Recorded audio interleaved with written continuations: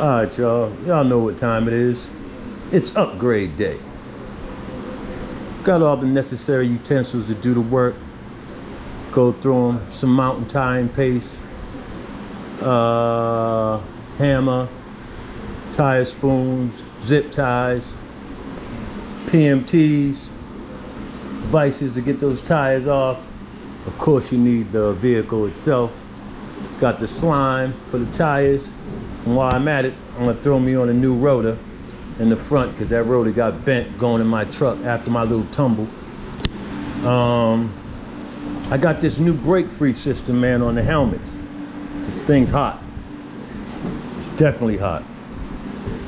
My bike end mirrors, because one of them broke when it fell.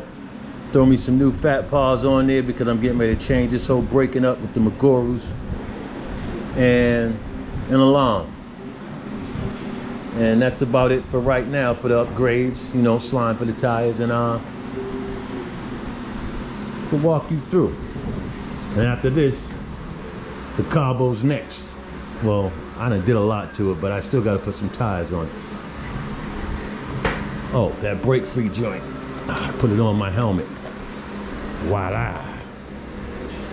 Fits like a glove. I'll get back in a sec. Got that off relatively easy to be honest. That was nothing. I was expecting a little struggle there, but didn't get one. I didn't realize that Nami didn't Nami didn't put the puncture proof stuff inside their tires though. See, I didn't even know that. I would have uh I assumed that they did. Why would I assume? I don't know. But that one was relatively easy, bro. Hopefully the next one will be uh the same thing, you know?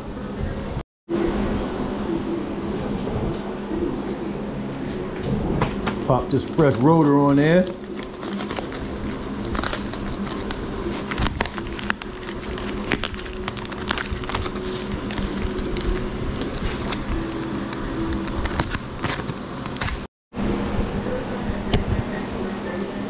Rolling.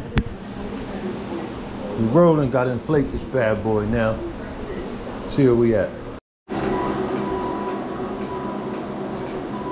So we all straight, everything back on.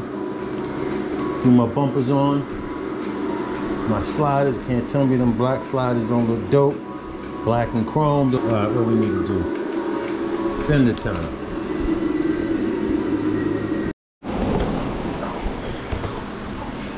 And that's a wrap. Everything's back on, time to hit the back. Back, same deal, you know, peeled off the great caliper. Because you don't want that to get bent in the process of taking this junk off. Got the bolts off. Unloosen these couple of cable uh, fasteners and um, I'm cracking.